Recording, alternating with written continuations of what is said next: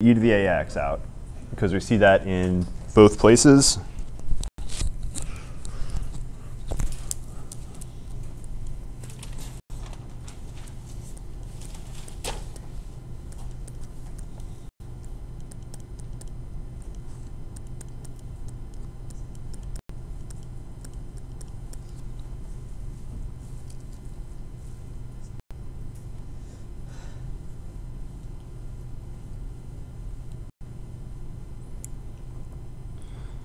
We're going to do now, it'd be really nice if we combine these together, but what's preventing us?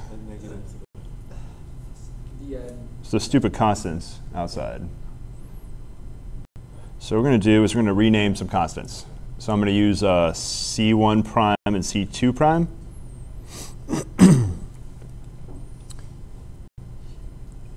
and let's see.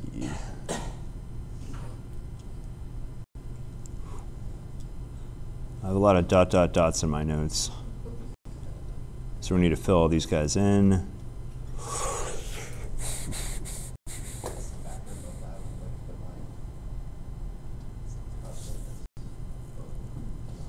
Oh, let's write down some identities we did back, uh, I think, a section ago when we were doing that. It felt like we were doing random complex uh, stuff. We were preparing for this moment right here. So let's go back to chapter 18, which was complex stuff. Cos here we go. Ah, those look really familiar. That's not coincidence. So we're going to use those two right there. So that's why we did this way back when. So try to remember those. I'm going to go to the next page where we stopped. Actually, I had them written down in my other notes. I'll just pull this page open.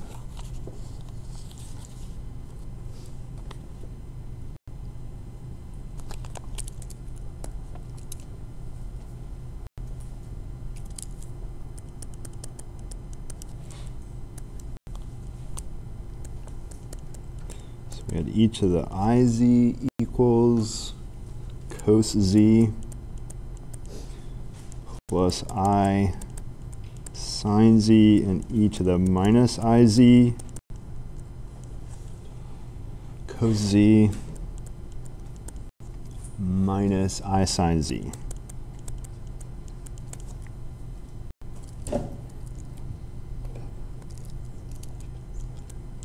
So this may seem strange of why we're doing all this work, and eventually we will get to a form that'll look a lot nicer. We're just going to have to walk through the woods for a little while the fire swamp, if you will.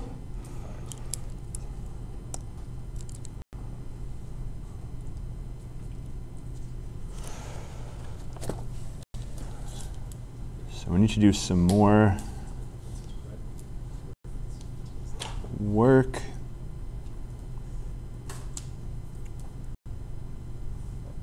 So let's rename our constants. Let's call them C1 prime and C2 prime and that'll let me call their new constants just regular C1 and regular C2. So we'll give these some primes. I think that's the only place we used them, yeah, right there.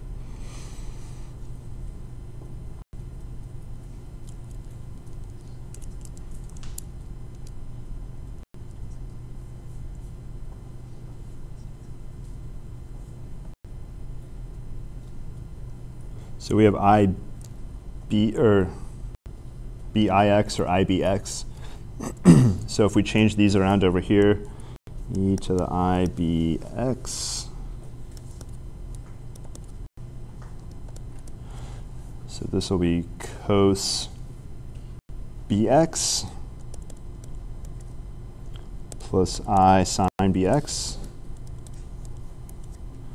and e to the minus IBX is the second one, cos bx minus i sine bx.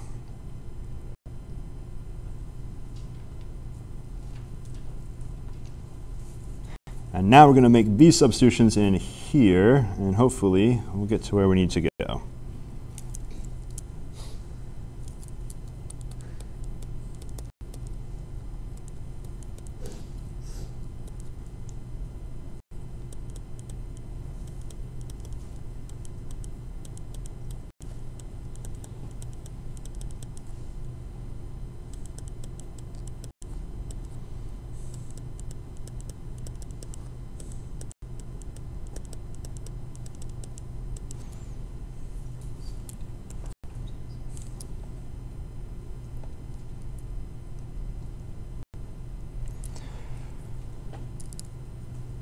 So we can combine the cos bx's and the, carefully we'll combine the i sine bx's.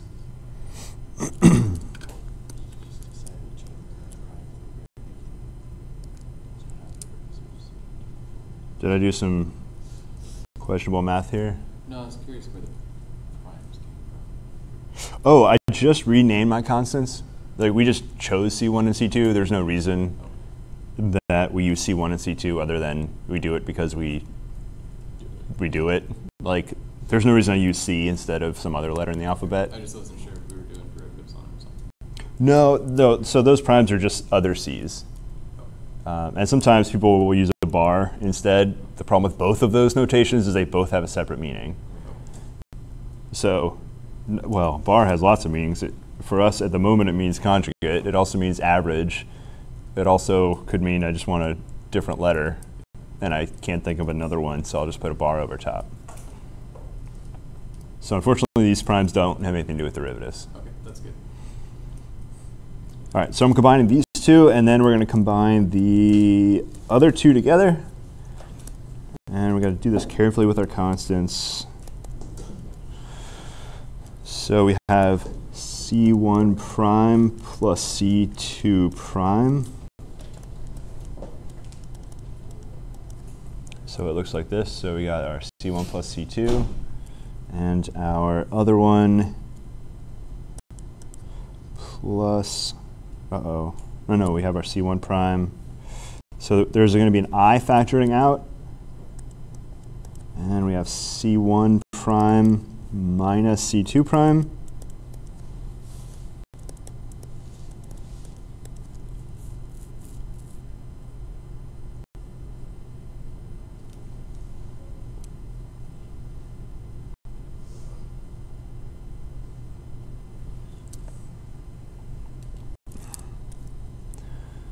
So we have the sum of two constants and the different of two const difference of two constants. So both of those individually are some other constant. So we got some new constant here and some other new constant. So here's where we're going to use C1 and C2. So what I underlined, the first one will be C1, the second one will be C2. So we got new constant.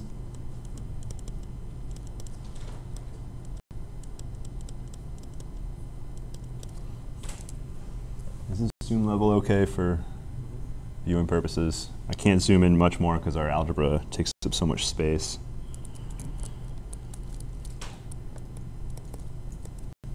So we'll just go C1 cos bx plus, let's do something weird, C2 sine bx. So C1 will equals C1 prime minus C2 prime. So it looks like I made a mistake, but I didn't. What does C2 equal? Well, hopefully I didn't. What did I replace when I put in C2? I actually replaced a little more than I underlined. Is I going to change? Better not change. So I is constant. So C2 is I times C1 prime minus C2 prime, which may seem a little strange, but C1 is a real number, and this means C2 is going to be a complex number. So it's a constant, but a complex constant. Does the plus or minus matter in C1? Not, you add two constants, subtract, you just get another constant. So it's not, it would have gotten the same result if it was a plus there. It would just be a, well, in that particular case, they would actually be the same number. If both those would be the same actual number. So I could just go C1, C1. I think it means for the, the C one at the bottom, Right. like where C one equals. C one prime. Oh, yeah, no, absolutely. That, that one, yeah. Oh, that's probably the mistake you were thinking of when I asked what mistake did it look like I made.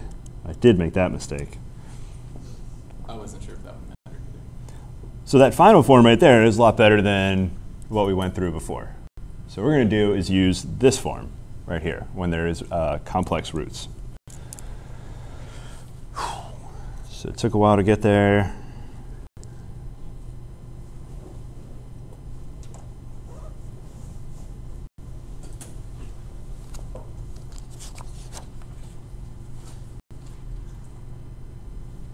Oh, we can do some fun trig now. Okay, let's do that. So this will give us a bunch of alternative versions that you could write yours somewhere up here. So this is one version you could use for YC right here. That's one version.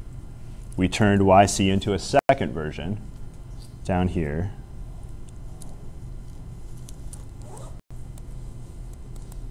Here's a second version you can use.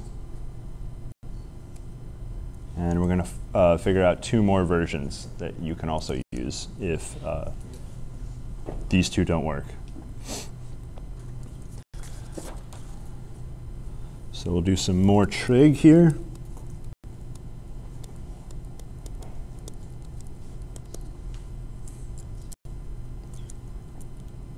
So we basically have C1 cos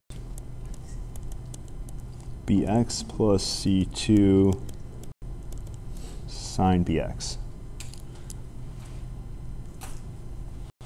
So we're going to do something that will look very strange. So I'm going to factor out that number. So how do I factor out? Well, you basically force it. You just divide by that number. And these squareds are actually squaring the variables here. So this is not, it's not like some other constant. We're actually squaring C1 and we're squaring C2.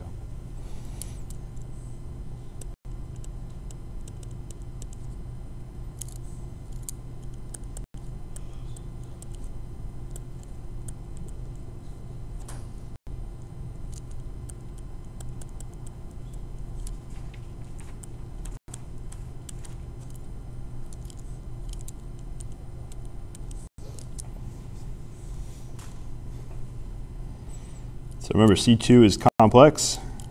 So it's a reasonable chance that that value is co a complex square root.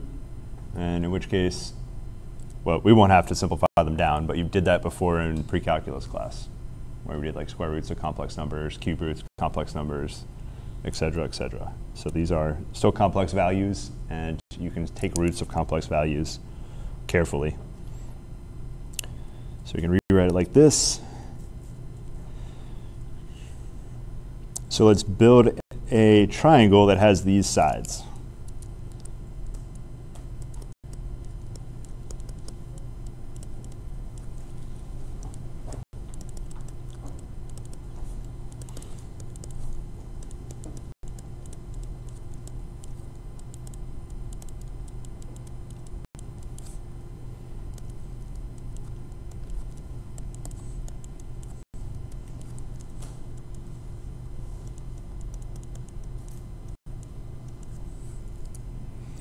So I drew this triangle like it was a right triangle.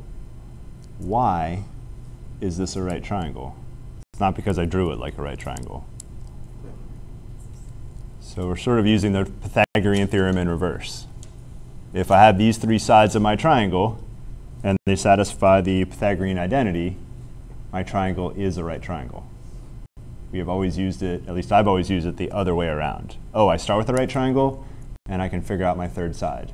But if I start with three sides that have this relationship, I am looking at a right triangle. So we're kind of we're going using it in the inverse way that we normally do it. Use it.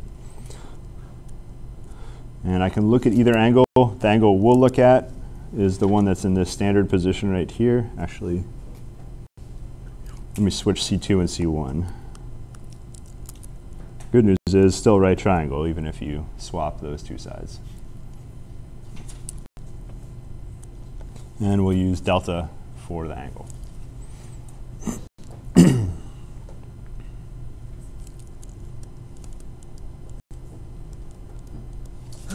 All right, what is sine of delta? C1 over square root. That's C1 over hypotenuse. So C1 over square root. Yes. And of course, cosine is adjacent, C2 over that hypotenuse.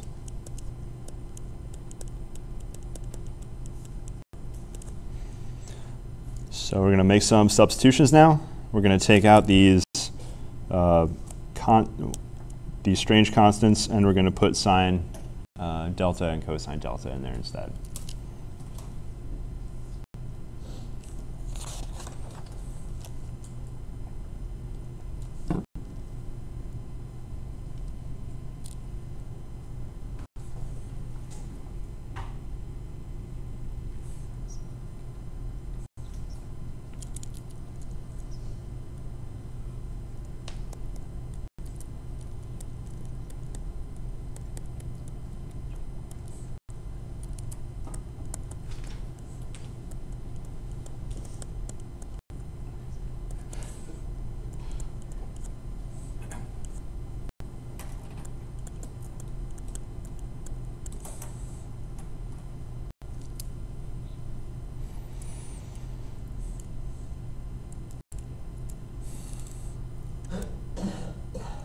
There's something we can do with the right side here. What trig identity can I use on the right side? The- I'm- Is it sine two theta? Almost. I think this will be the one that goes sine cos cosine is the so cos cos cos. So this would be sine of the sum uh, the Yeah. sum formula for sine Yeah. is what we're looking at. Actually, there's a. I hope it's a sum formula for sine. I think that it is sine delta plus bx. Let's see what the notes say. Uh oh, the notes say cosine. Uh-oh. Uh-oh. Did I mess up where I put these? I probably did. No?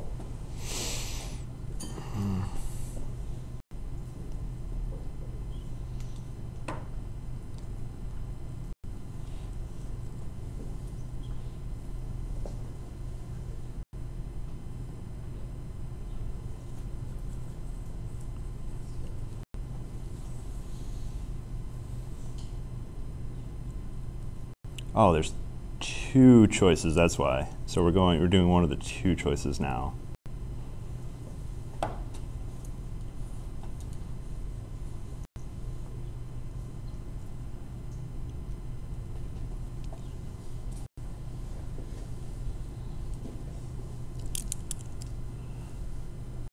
So this is sine delta plus bx.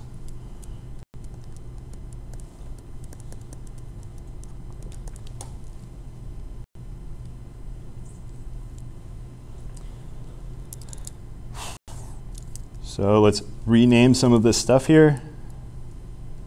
So we got a constant in the front. So we'll just call that new constant. C3, sounds good. C3 sine. But we got three constants. We're supposed to have two.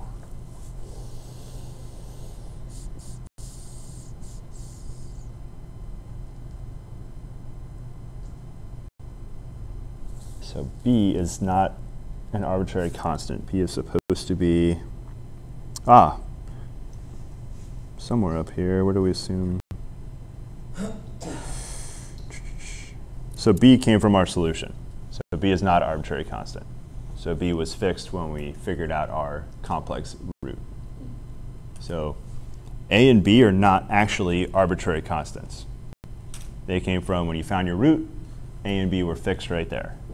So whatever your root was, so if your root, for example, if you got a m equals 1 minus i, b would be negative 1. So when you get your complex roots, that's a and b are fixed right there. Does that make sense? They're not arbitrary constants. And I'll write that down here.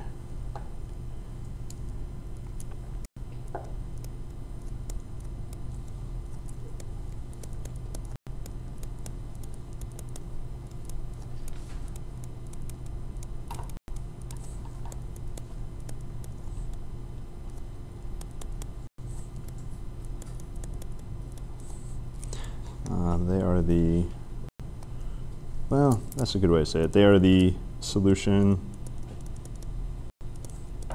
to the characteristic, is that what we call it? I think it's called a characteristic equation.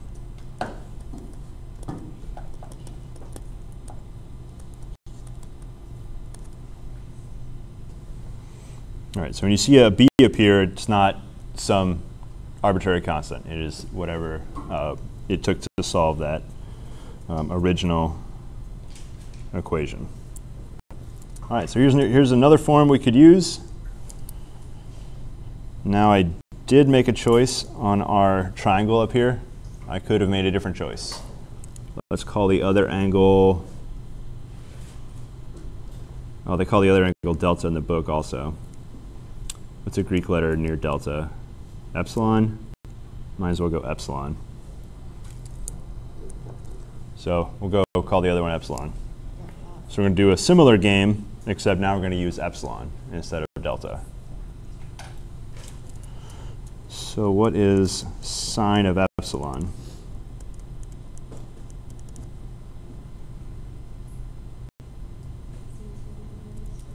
So opposite C2 over that square root.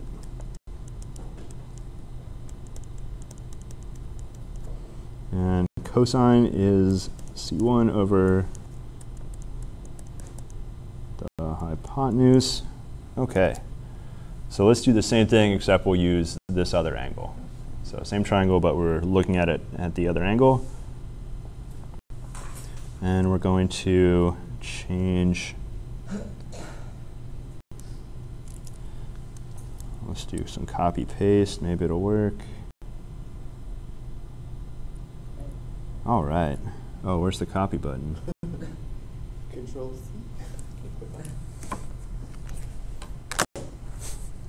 There it is. Control C. Scroll down. Paste where I want to. Not what I want. I don't even know what, in the world that is. Probably somebody's grades. All right. All right, we'll just rewrite it. That's fine.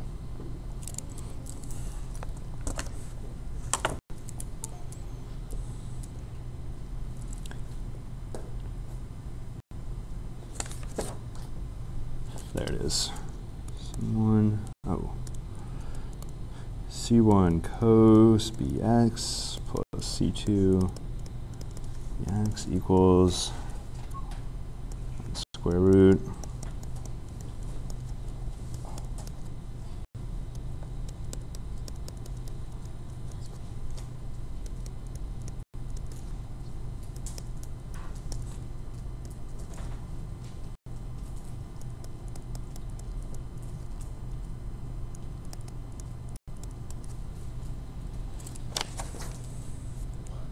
And now we have cos. So that first one is cos epsilon. That's C1 over the hypotenuse is cos epsilon, and the second one is going to be sine epsilon.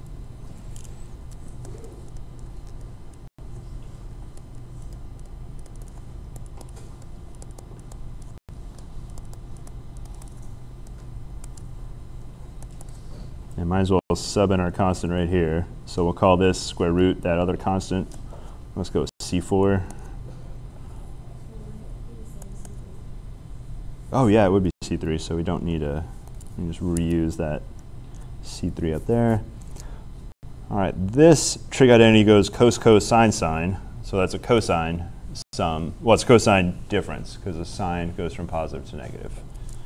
So this is C3 cos epsilon minus bx.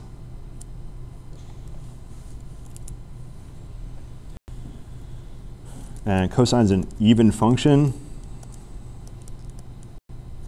I don't really need that extra parentheses. So I could write it as cos negative epsilon minus bx, which is cos bx minus epsilon.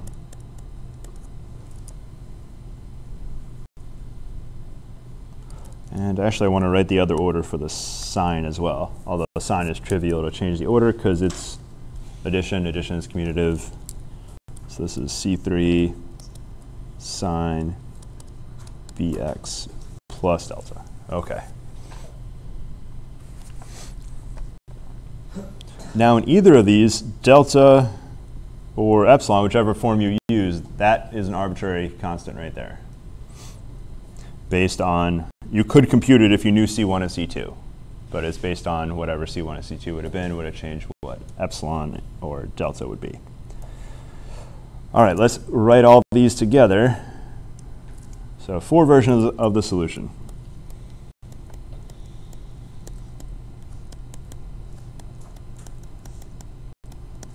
Hey, look at that. We tied together precalculus 2, infinite sequences and series, imaginary numbers. Yeah, it's like the greatest hits.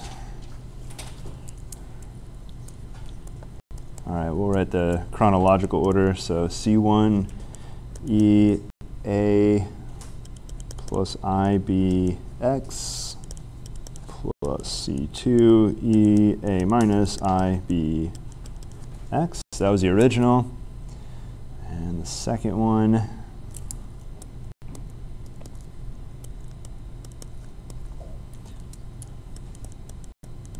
C1 cos bx plus C2 sine bx. Third one, C e to the ax times sine bx plus delta. And last, C e to the ax Nope, that's cos. bx minus epsilon. And I have an extra parentheses I don't need. And we'll write, so these are the four versions you can use. WebWork might prefer one over the other. They might tell you, I'm not sure what WebWork will prefer, but there's four ways you can write the solution down.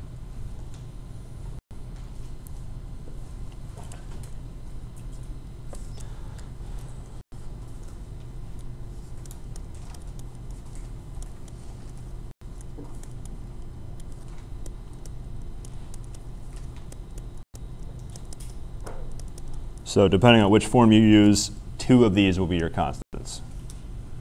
So whichever of the four forms you're using, just remember A and B not the arbitrary constants. It's the other letters that are there.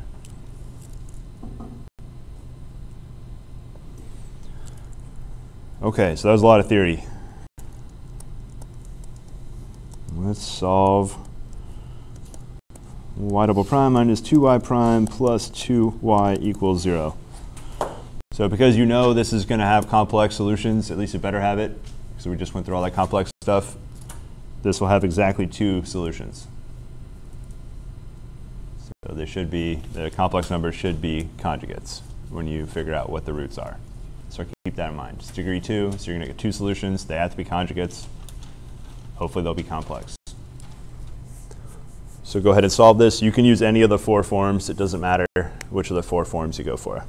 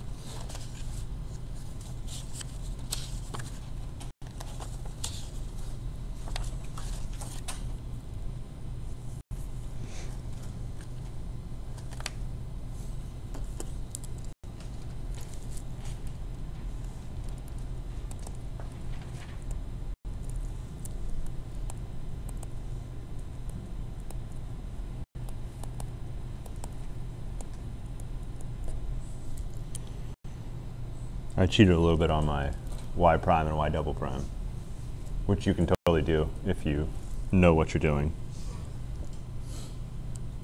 So remember, y is e to the ax, so this is written out exactly the way that they were before, I just left in y. And of course, we know y will never be 0 because of the way we defined it.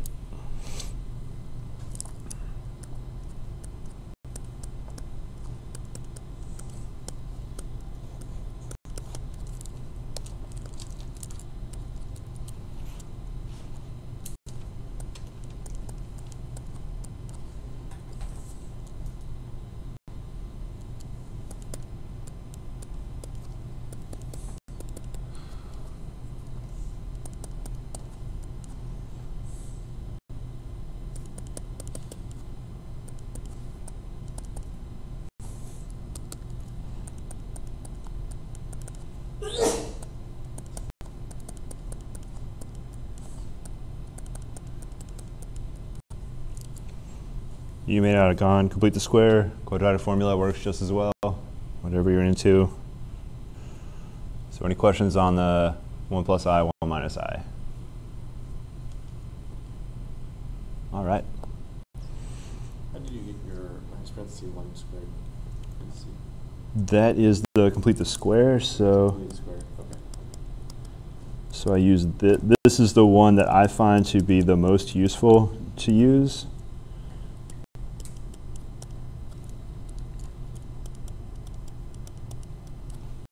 Here.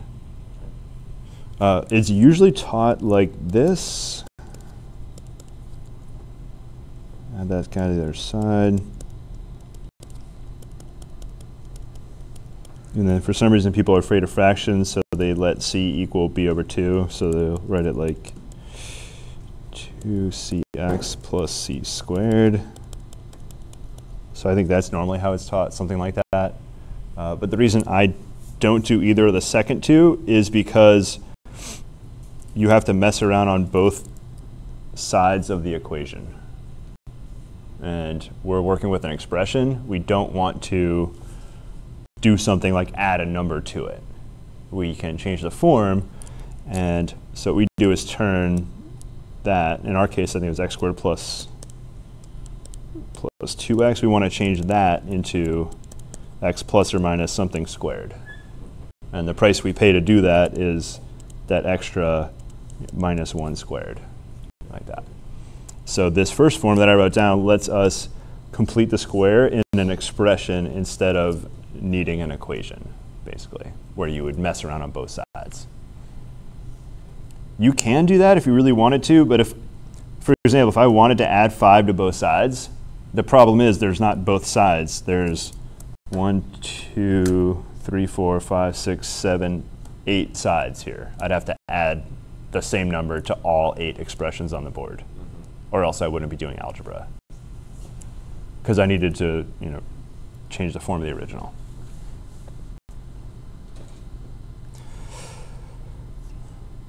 Okay, so we'll just go with the first form.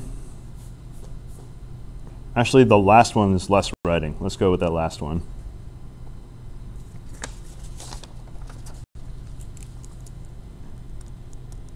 I'll just rewrite it exactly the way we wrote it up there. So we have to be very careful. A and B are not whatever you want. What is A and what is B? So A is definitely 1. What about B? Oh man, I gotta make a choice. Don't think anywhere we assumed B was positive or negative.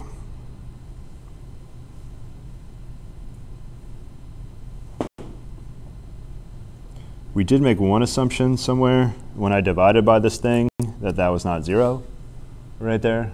So we did assume that was not zero. Uh, but I don't think we made any assumptions that B had to be positive or had to be negative anywhere. So you get to choose, do you want to go with the positive or the negative? Would you have to do it twice for? That's a good question.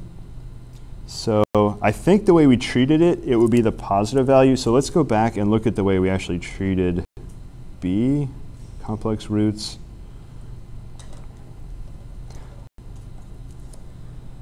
So if we look at where b originally came from, it was the solution here. I didn't ever assume that this was the positive one and that this was the negative one. Like I didn't ever use the fact that uh, I never needed to use the fact that b was greater than zero, for example. Right, but, but you would have to use both in and in bar. You? You have to solve for So let's look at what happened to the b's and see where they went. So we had, so here's our original one that we wrote out. And so you see the b in both places. And in this case, it doesn't matter which of these two was the positive and the negative, as long as one of them is, um, let's just say I picked the positive b. So one of them is, like this is one solution and that's another solution to the characteristic equation. There's no reason why you couldn't trade places right here with your two solutions. And so uh, because of that, it doesn't matter if you go with b as the positive number, the positive coefficient, or the negative coefficient. So this was just a choice. I didn't say that this was the one where it was had a positive complex term, and this was the one where it had a negative complex term. We never used that anywhere in any of the work that we did. So it doesn't matter which of those two is the plus or the minus. Um, and because of that, you can choose B to be the positive one or the negative one. So I say to have one less negative sign, let's let B equal positive one. So you can choose which of the two you want to go with. So I'm going to go with the positive.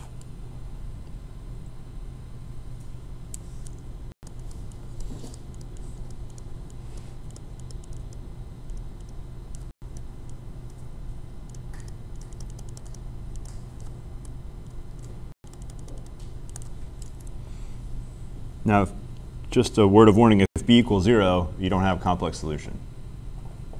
If b equals zero, you have a real solution. So we didn't really assume b was not zero, but when we said this is a complex solution, uh, if you had a real solution, you, you should look to the other ones, um, not to this complex solution. So we have c, e. Now a is 1, so it's e to the x. Cos, we're going to use 1 x minus delta.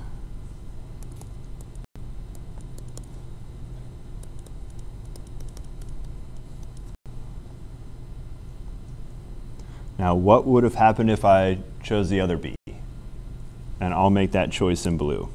Now, this is our final answer right here. There's no more constants that have to be thrown in. We got two constants on a degree 2 ODE. So that's what we expect. One constant for each degree. So this is our final answer right here. Now, let's say I went a equals 1, b equals negative 1. Plug all this stuff in. yc of x equals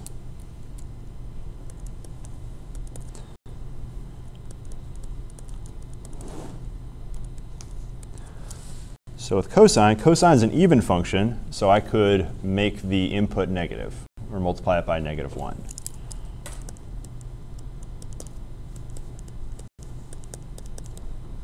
So because cosine's even, I can just change the input to be negative of the original. That arbitrary constant in the end. So that what ends up happening is your delta becomes negative of what it would have been if you made your other choice. So that's the effect of choosing negative. So it doesn't matter which of the two you choose. I just recommend go positive. There's no reason to put an extra negative sign when you don't need it. So that's that's Carlson's advice for complex Be positive. complex roots. Be positive, yes. When things are complex, be positive.